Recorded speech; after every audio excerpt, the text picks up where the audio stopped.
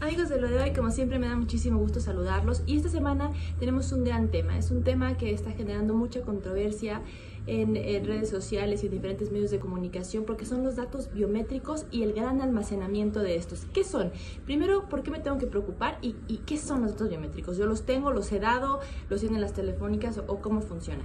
Tus datos biométricos son tu huella digital, el iris de tus ojos, eh, tu rostro, las facciones de tu rostro, por supuesto, eh, va más allá con el tema de, ADN, tu firma, eh, tu fotografía, tu gesticulación, entre otras cosas. Pero digamos que lo principal es la huella digital y el iris de tus ojos y eh, las facciones de tu rostro. Esto em, va a generar o se va a almacenar en un gran padrón de base de datos que ahora eh, pues lo van a poder tener concentrado con todos los usuarios de telefonía celular. ¿Quién aprobó esto? Lo aprueba el Senado hace unos días eh, con el objetivo de pues prevenir eh, delitos cibernéticos o avanzar en materia de, prevención e investigación de delitos cibernéticos.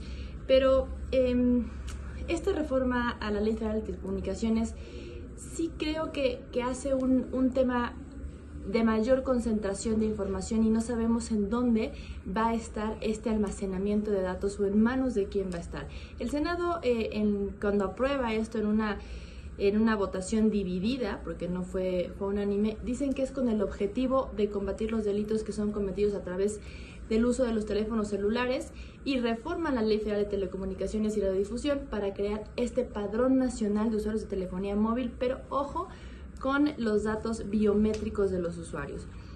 Tu voz, tu huella digital, tus ojos, tu fotografía, toda tu información almacenada en una gran base de datos en manos de quién. ¿Quién la va a operar? ¿Quién la va a analizar? ¿Cómo vas a saber qué información se está recopilando, actualizando o con qué fines se está consultando?